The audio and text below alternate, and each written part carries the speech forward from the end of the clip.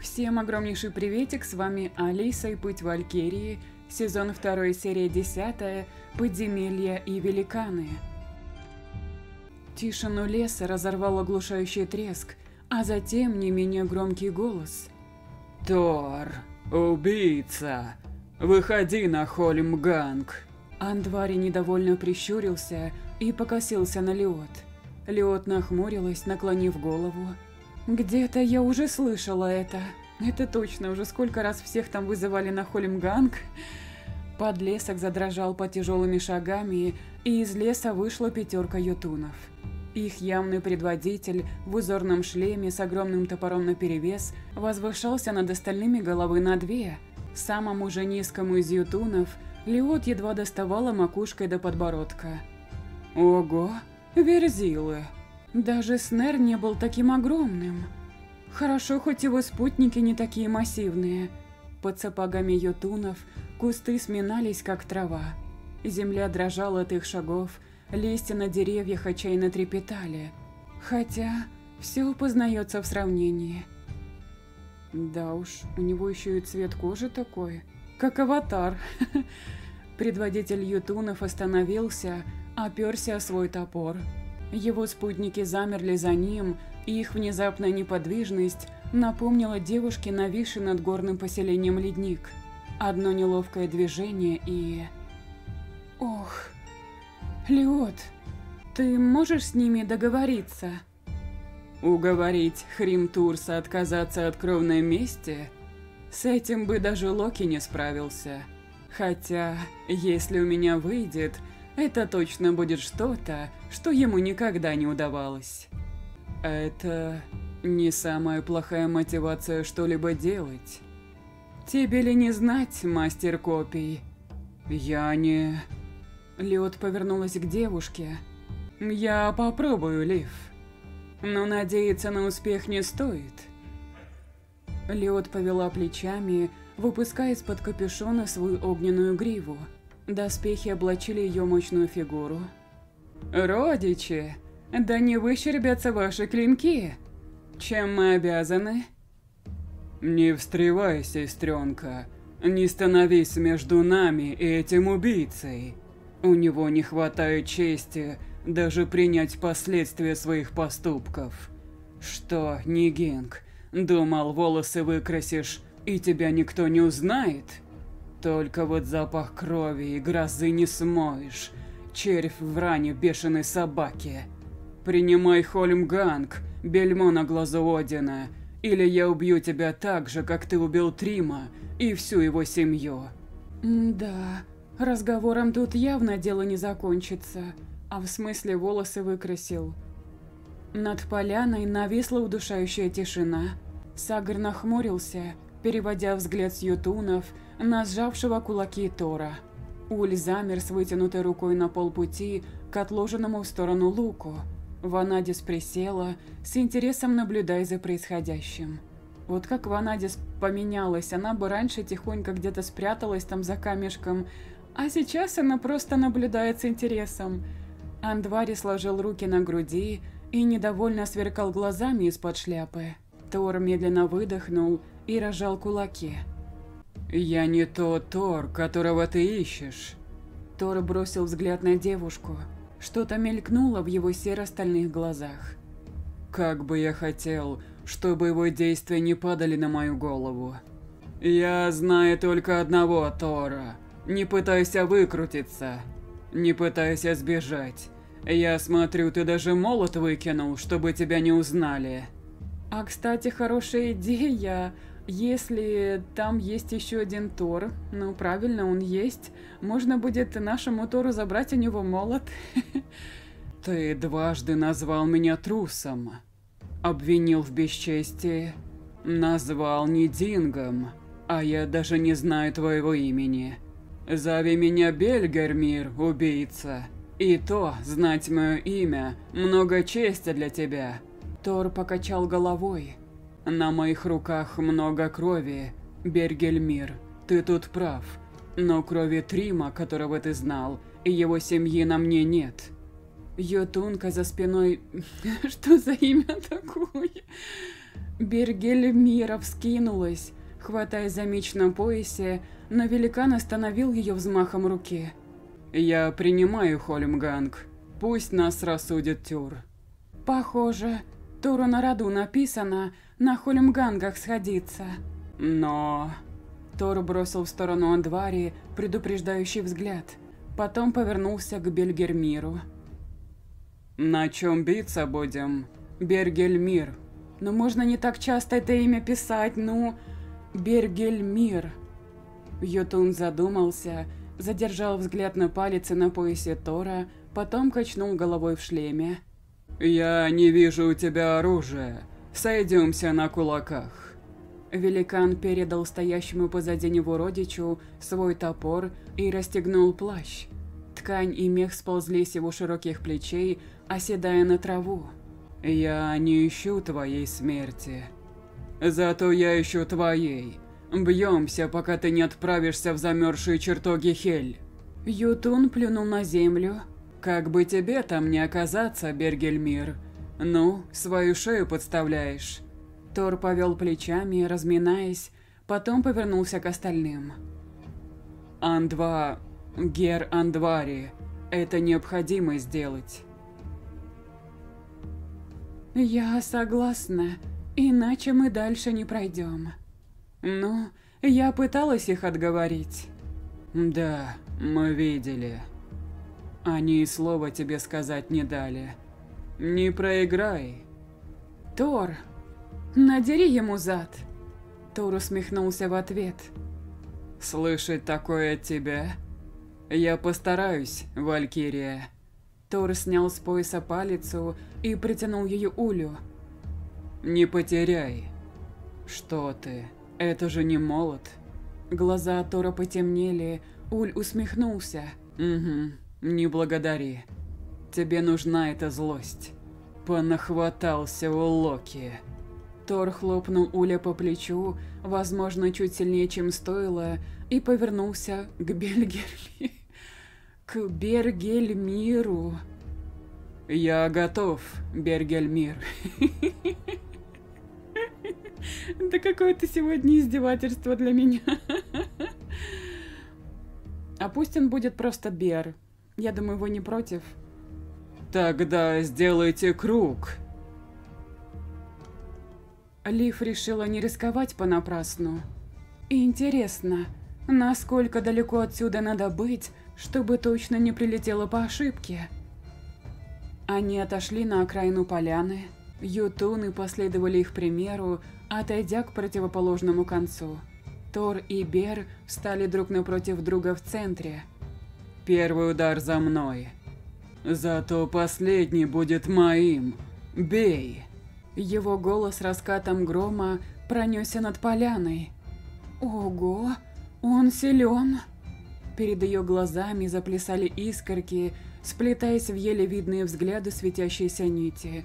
Они тянулись отовсюду и пронизывали все вокруг, включая Бера и Тора. Вокруг Бера они сплетались снежно-белый и неистый ком. Вокруг Тора клубилась пронизанная молниями сизая туча. «Это сила? Но почему я вижу ее сейчас?» Ванади столкнула Сагра в бок и кивнула в сторону девушки. Сагр нахмурился. «Я знаю этот взгляд, Лив. Ты видишь что-то новое?» «Откуда?» «Да, светящиеся нити и...» «То, как они сплетаются». Он усмехнулся. «Я бы дорого дал за то, чтобы снова испытать взор глазами новичка. Что это значит? Ты можешь видеть силу, как Ванадис, как Один и Локи, как когда-то мог и я. Я... Тор не торопится бить, что-то не так. Лиф оторвала взгляд от переливающейся всеми цветами пламени Леот и снова посмотрела на Тора и Бера. Вдали за ними над лесом колебалось еще одно грозовое облако. Мне кажется, или в лесу. Чего ты ждешь? Бей! Что-то прогудело со стороны второй грозовой тучи, полыхнуло электрически белое зарево. Закрой глаза. Она зажмурилась. Даже без предупреждения Сагра было понятно, что смотреть на источник того света опасно. Лиф услышала три вещи, пытаясь проморгаться после вспышки. Сначала влажный хруст.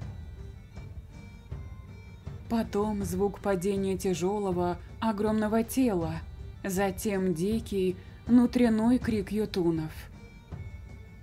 «Отец!» «Обманщик!» «Убийца! Смерть!» Лив открыла глаза. Бер лежал лицом вниз у ног Тора. Из его затылка к небу тянулась длинная, обмотанная кожей рукоять. Тор пораженно смотрел на распростевшегося великана, а к нему уже бежали, выхватывая оружие, четверо разъяренных ютунов. Он так странно одет вообще. Рыжий Тор, это что-то, конечно. Не зевай. В одного из великанов сбоку влетела широкоплечья фигура с развивающимися рыжими волосами и с такой же рыжей бородой. Несмотря на разницу в росте, незнакомец был примерно одного роста с Тором, Ютуна прокатила по траве, еще один великан переключился на незнакомца, в то время как последние двое продолжили бежать к Тору. «Почему он стоит? Поможем Тору!» Броня обняла ее тело, а пальцы нашарили и выхватили меч. Что-то снова поднялось в ней, захватывая и унося с собой. «Я действительно бегу с мечом на великанов?» Впрочем, Времени на размышления у нее осталось немного. Меч Ютунки, который несколькими минутами ранее осадил Бер, уже вспарывал воздух, несясь к голове Тора. Звон, отдавшийся болью в плечах и локтях удар, не имеющий запястьях, и уходящий в землю отраженный удар великанши. «Это я?» Она успела заметить борозды, оставленные в земле ее ногами. Сила удара отбросила ее в сторону, вбивая ее в землю по щиколотке. Ого! Молодец! Устояла! Великанша с мечом наготове пронеслась мимо девушки и, не останавливаясь, носила нашалевшую ютунку. Двуручник порхал бабочкой, выискивая провалы в защите более высокой ютунки – Тор, ты что творишь? Он вскинул лук, пуская стрелу во второго великана.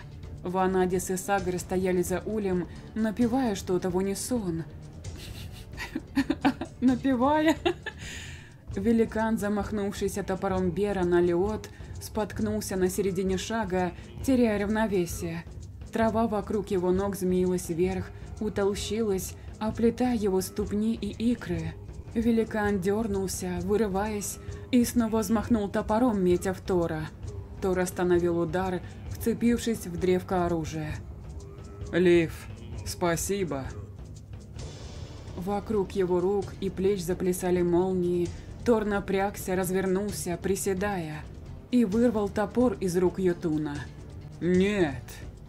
Топор Бера, комически огромный даже в руках Тора, оборвал нить жизни великана – Лив отвела взгляд, огляделась, высматривая Леот. «Сдавайся!» Ее противница, раненая в бедро и предплечье, держалась из последних сил. Незнакомец стоял поодаль над двумя неподвижными телами, наблюдая за Леот. «Сдавайся, сестренка!» Ютунка сверкнула на Леот полным ненависти взглядом. «Никогда! Прислужница убийцы!» Сдавайся, девочка, сдавайся. Иначе закончишь, как твой отец и братья. Ютунка перевела взгляд на незнакомца. Тор. А кто ж еще? Что? Рыжий Тор подошел к телу Бера и с отвратительным хрустом выдернул из раны оружие. В его руках оказался молот из длинной рукояти, который он тут же коромыслом перекинул через плечи, небрежно свесив с концов древка кисти рук. Ого, офигеть какой большой! А ведь прав оказался хитрец. Тут вы все и были. Я сегодня добрый. Возвращайся к своим. Скажи, Тор за вами следит. Ты... я тебе...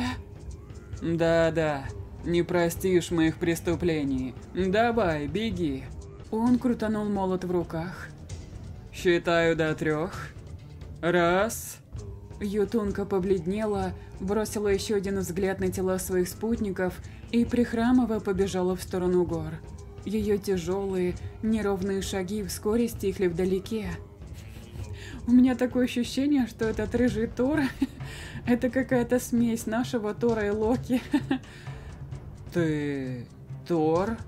А ты не видишь, что как будто в зеркало смотришься? Именно так? А ты? Еще один капитан очевидность, который... А ты кто? Я не понял. Ты мой близнец, ну а ты кто? Ты тоже Тор? Он недобро прищурился. Я чую в тебе что-то родное. Да что ты? Вы тоже это видите? Сагарь смятенно кивнул. Да они же похожи, как две капли воды. Только этот рыжий. Это... Местный Тор? Судя по всему, я его старательно избегал. Тут ходят слухи о нем. Вряд ли хорошие. Судя по тому, что мы тут видели, еще и исключительно правдивые. Тебя как звать? Так, все, я беру свои слова назад. Локи более посообразительней был бы. Как тебя звать? Тор. Угадай с трех раз, как меня зовут. Тор, Тор или Тор. Серьезно? Рыжий Тор согнулся пополам от смеха, опираясь на молот. Да у твоей матушки совсем воображения не было, да? Ой, так же, как и у твоей. Ну, ничего, ничего. Значит, слушай сюда, парень. Силы моей в тебе знатно, тут воду не гляди. Мой ты. Но я... Молчи и слушай. Вот тебе молот, его Снилдар звать. Что происходит? Он протянул Тору свое оружие. Тот неуменно посмотрел сначала на древко, потом на рыжего Тора. Рыжий Тор недовольно цыкнул и толкнул Тора древком молота в грудь, заставляя взять в руки. Бери, пока дают. Это... о чем я? А, принесешь его в Асгард за год, признаю тебя как сына, рядом с собой посажу. Все уже переходит за черту бреда. Я не... Да не отказывайся ты. Чего ты в самом деле? Ты в чертогах Асгарда сидеть не хочешь? А не захочешь, то не страшно, не принесешь, так я сам его призову. Но ты же... Что, оставлю Асгард без защиты? Нашел о чем заботиться. Думаешь, как стримом разобрались? У нас хоть года спокойного не будет? А с твоей силой... Так что ты это... Приходи. Если что... Рыжий Тор хлопнул ошалевшего Тора по плечу, сунул два пальца в рот и пронзительно свистнул. Это вообще капец неожиданно. Из-за крон деревьев вынырнула запряженная козлами повозка, которая споро подлетела к рыжему Тору. Козел. Рыжий Тор ухватился за край колесницы и одним прыжком оказался внутри. Он окинул на прощание взглядом остальных, подмигнул Ванадис и стегнул козлов поводьями, отправляя их в полет. «И девок своих приводи!»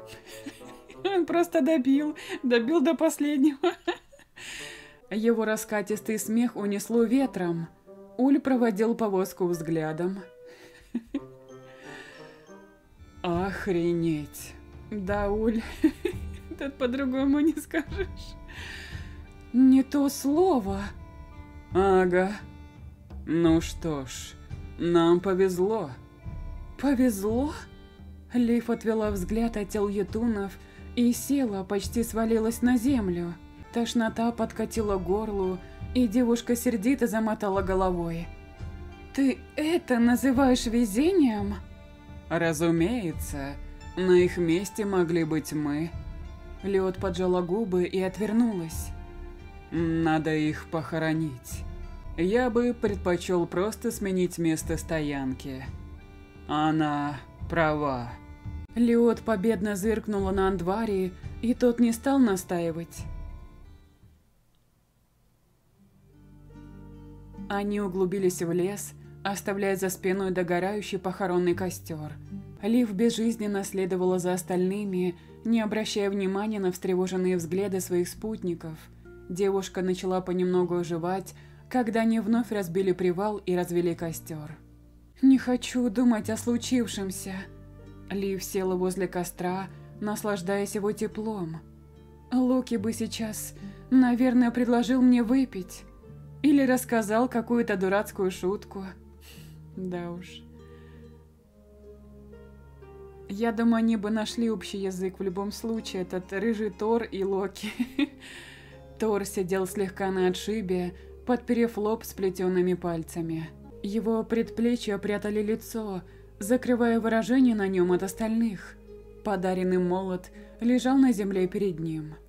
Он колеблется? Тор резко вдохнул, потер лицо руками, потом он поднял голову, и их взгляды столкнулись. Лив увидела на его лице бесконечную усталость. «Лив, на два слова». «Кажется, он впервые обращается ко мне напрямую». «Конечно». Девушка подошла к Тору и опустилась на землю напротив него.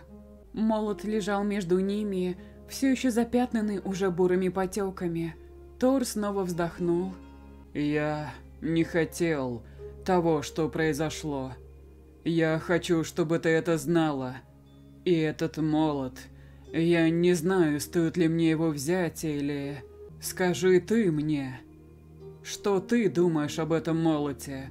Стоит ли мне его брать? Ого, чего это он вдруг? Я думаю...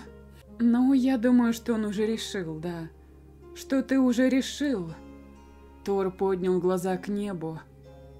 Ты права. И я, кстати, его не виню, он, ну, без вариантов, действительно, они бы там просто всех поубивали. Что бы ты ни сказала, я возьму его. Хотя бы для того, чтобы его хозяин он замолчал. «Я не хочу быть как он. Хотя бы год с этим оружием я смогу». «А как же твой договор с Андвари?» «Он в силе. Этот молот мне так или иначе придется вернуть. И Андвари сможет посмотреть, что именно мне подходит. Все-таки даже к Мьёльниру мне пришлось привыкать. А Андвари... Андвари обещал, что сделает мне все по руке». Что-то он разоткровенничался. Их прервал голос Андвари. Тор, Лив, ваше присутствие было бы очень полезным. Мы идем. Минутой позже все они сидели вокруг костра. Андвари встал во весь свой рост, поправил шляпу, вздохнул. «Меня кое-что беспокоит», Андвари сцепил руки перед собой, поля его шляпы качнулись. То Тор обмолвился кое о чем, что найти ютунов ему помог некий хитрец. И вот вопрос, это был знакомый нам всем Локи или другой? Думаю, это был не наш Локи. Зачем ему помогать местному Тору искать ютунов? Это хороший вопрос. Вопрос еще лучше – Зачем ему не делать этого? Думаю, выбор между его шкурой и нашими вполне очевиден. Лив несогласно поджала губы. Очевиден, но... Думаю, это все же не он. Нельзя опускать вариант со случайным стечением обстоятельств, разумеется. После этого замечания разговор затих сам собой. Лив проснулась с чувством помятости, въевшимся под кожу. Чувствую себя скомканным исчерканным листком бумаги. Вокруг догоревшего костра спали Леот, Сагар и Ванадис. Андвари лежал слегка в стороне, накрыв лицо шляпой. Уль сидел на пригорке в отдалении и явно дежурил. Тора видно не было. Как же хочется смыть себя вчерашний день. Да и последний раз я купалась, когда свалилась в ту речку рядом с торпом. Интересно, я смогу использовать свои суперсилы, чтобы найти где помыться? Все-таки брать все, что предлагают, хорошая идея. Может, мне удастся справиться со всем, раз уж я стала сильнее. Лив потянулась и огляделась. Ну что ж, приступим. А что я, собственно, ищу? Вчера девушка поежилась от воспоминаний о той жестокой битве. Вчера я просто увидела, а сейчас Лив задумчиво прищурилась. Тоненькие нити затрепетали в воздухе, похожие на невесомые паутинки. Кажется, кажется, я что-то вижу. Лив перевела взгляд на своих спутников. Вокруг них нити утолщались, сплетались в небольшие клубки. Хм. Сагр почти не светится. В Андваре тоже сил немного похоже. А это из-за того, что он сверг? Алиот и Ванадис такие яркие, но все равно тусклее, чем тот Ютун и Тор вчера. Это из-за того, что они спят, или из-за того, что они слабее? Уль заметил, что Лив встала и призывно помахал ей рукой. Девушка махнула ему в ответ и подошла ближе к лучнику. «Уль, а где Тор?» Пошел развлекаться со своей новой игрушкой. «В такую рань?» Уль пожал плечами. Думается мне, что он просто искал повод не оставаться рядом с остальными. После вчерашнего... М да. Лив неопределенно качнула головой. «Ты не знаешь, есть ли тут ручей неподалеку?» «Есть, вон в ту сторону, вниз по пригорку». «Отлично. Значит, я смогу помыться». Лучник слегка нахмурился. Уж не думаешь ли ты отправиться туда сама? Думаю, конечно. Я быстро, остальные даже проснуться не успеют. Будь осторожна, Валькирия. Обещаю. Лив направилась в указанную Улем сторону, а беспокойный взгляд лучника провожал ее, пока она не скрылась за деревьями. После недолгих блужданий среди деревьев и кустов Лив спустилась к ручью – Тоненькая струйка воды, журча, вырывалась из-под земли и стекала по склону, почти полностью теряясь в траве. «Такой маленький, глубины тут пара сантиметров, окунуться не выйдет. Наверняка ледяной». Лив приблизилась к воде и окунула пальцы в воду.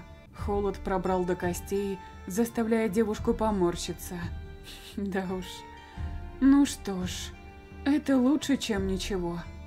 Если я быстро обмоюсь, то, может, даже не простужусь. Лив разделась, стараясь не сильно оттягивать купание. Главное не пищать. Да, конечно. Не давая себе передумать, девушка зачерпнула воды из ручья и вылила ее на себя. Ух, будто жидкий лед.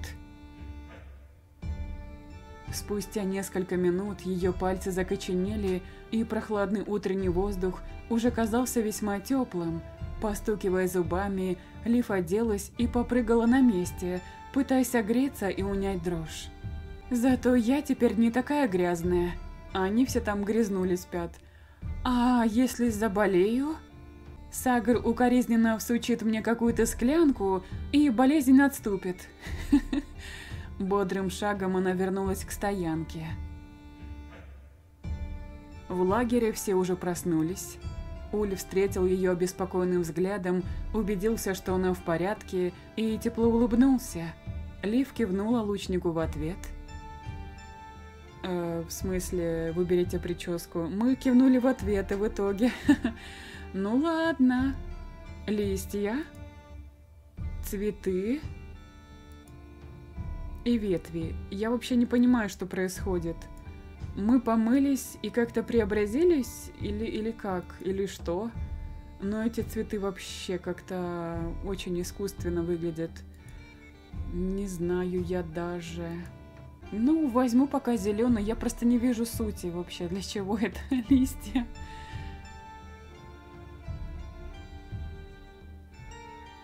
Стоит переодеться.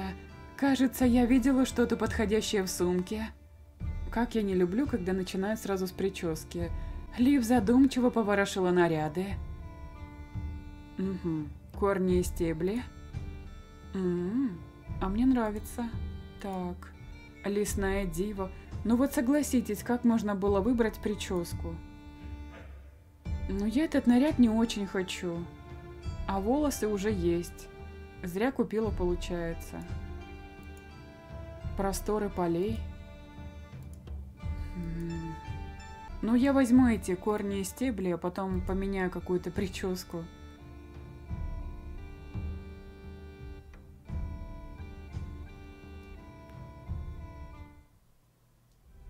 Горы на горизонте становились все ближе, снова похолодало. К закату дня, когда горы уже заполнили собой половину неба, Ванадис объявила стоянку. «Остановимся тут. Мы дойдем ко входу завтра к полудню, если выйдем на рассвете, как обычно». «Ты говорила, там система пещер?» «Так и есть. Одна из них ведет сквозь гору прямо к перевалу, Оттуда к дому из Сангрима ведет прямая тропа. Звучит очень просто, даже слишком. Ванадис пожала плечами. Те пещеры – настоящий лабиринт, если не знать, куда идти. Знакомая штука. Многие народы так прятали свои священные места, и не только. Ванадис, ты же хорошо помнишь путь, правда? Ванадис ухмыльнулась, быстро, хитро, как куница – более того, я оставила там свои метки. Она повысила голос. Слушайте все. Если заплутаете в пещере, ищите на стенах руну змеи. Ее голова будет направлена к выходу, а хвост к дому из Ангрима. Полезная информация. Спасибо. Ванадис пожала плечами. Не за что. Они вышли, как и собирались на рассвете. Лив, зевая и спотыкаясь, пыталась вспомнить свой последний, липкий и долгий сон. Ускользает, как угорь в воде. И ощущение, что снилось что-то важное. Так подумать, за все то время, что я здесь, все мои сны были. Во всех моих снах участвовал кто-то еще.